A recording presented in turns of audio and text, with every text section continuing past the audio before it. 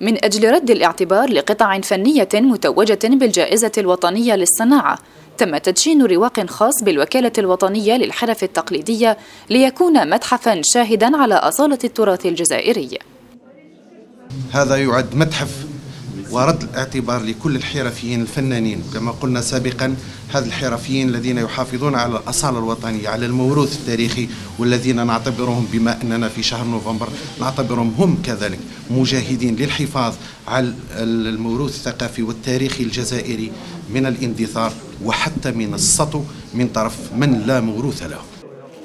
تثمين المنتوجات التقليدية التي تعكس صورة الثقافة الجزائرية في مختلف المجالات. يستلزم الدعم والترويج للحرفيين الذين تفننوا في تصميم التحف الفنية. لله يعني الدولة عملت لنا شوية ميزانية لكن آه يعني نتمناو إنهم يعاونونا كحرفيين خاطر إحنا مرآة الجزائر من الناحية الثقافية.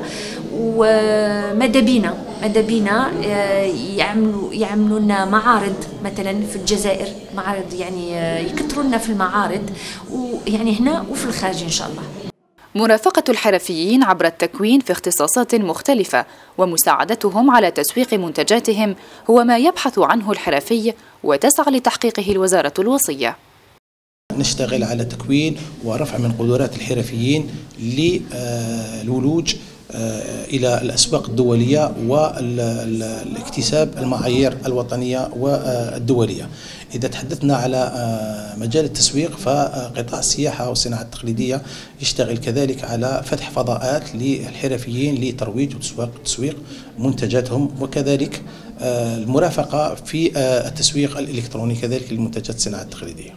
اليوم الوطني للحرفي هو فرصة لعرض ما تبدع أنامي الجزائرية في تصميمه للتعريف بالتراث الذي يسخر بصناعات حرفية تعكس مدى أصالة التراث الثقافي الجزائري.